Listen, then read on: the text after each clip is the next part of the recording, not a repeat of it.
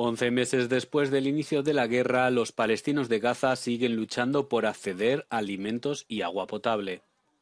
La guerra restringe la entrada de la ayuda necesaria y las familias se han visto obligadas a depender de cocinas improvisadas de caridad para poder sobrevivir.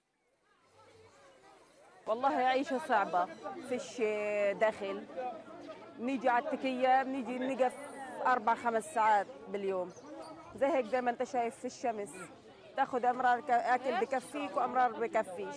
أنا يوميا لازم أنا آخذ أكلي وشربي من التكية.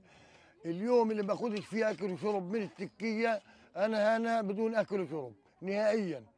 يعني لا يتوفر لي الأكل بالمرة.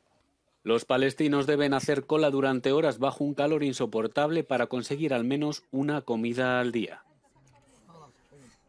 El acceso al agua se ha convertido en otra lucha diaria a medida que escasea cada vez más en Gaza. Las colas son largas, incluso para llenar botellas o bidones de agua.